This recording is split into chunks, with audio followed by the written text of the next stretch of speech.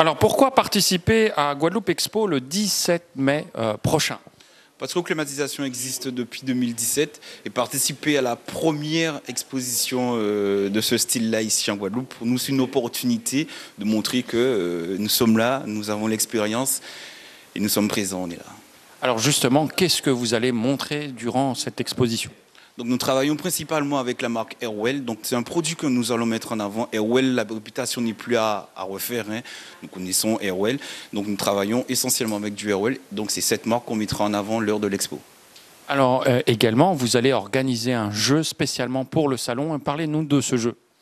En effet, on a euh, plusieurs lots à gagner lors de, ce salon, notamment un climatiseur Airwell 18000 BTU qui sera gagné sur place et d'autres lots euh, où on verra exactement tout ça sur place aussi.